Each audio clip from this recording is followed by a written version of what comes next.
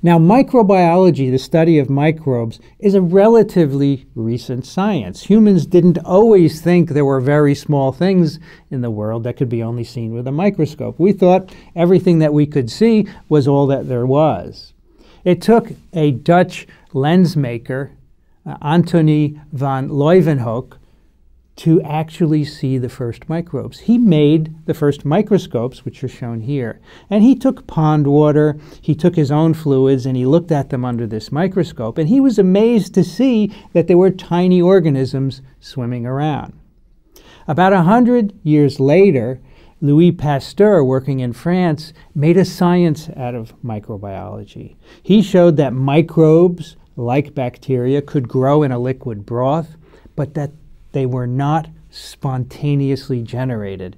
One of the prevalent thoughts at this time was that life arose spontaneously. Louis Pasteur put an end to that theory.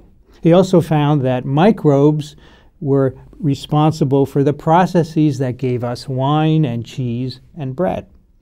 And finally, uh, Robert Koch, working in Germany, showed that some microbes could cause animal and human diseases. So these were the origins of microbiology, and you can see uh, that it's a relatively recent science. Now, why do we care about microbes?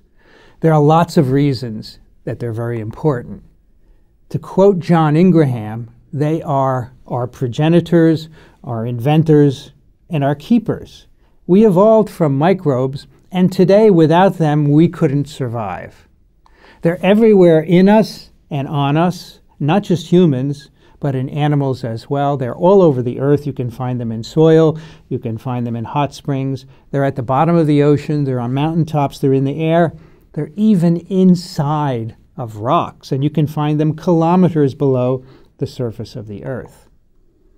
Only microbes can take nitrogen gas from the air and convert it into a chemical that can be used by other life forms to grow. That's called fixing nitrogen.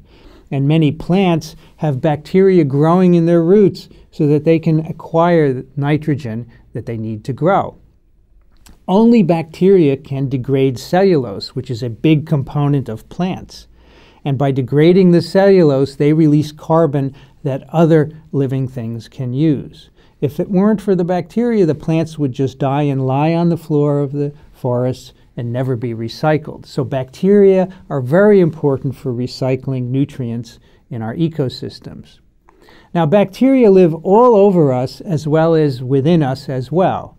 They're in our intestines, they're in our stomachs, they're everywhere, they're on our skin. And this diagram shows you all the different kinds of bacteria that are located on different parts of our skin alone. And the different colors on the pie chart show you the different colonies or communities of bacteria uh, that are found from your eyes to your hands to your feet.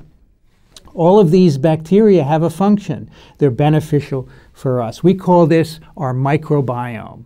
And in fact, the number of bacteria in us outnumber the number of human cells in us.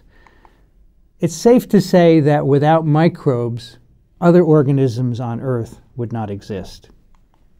You just completed your first video of the world's best medical exam preparation.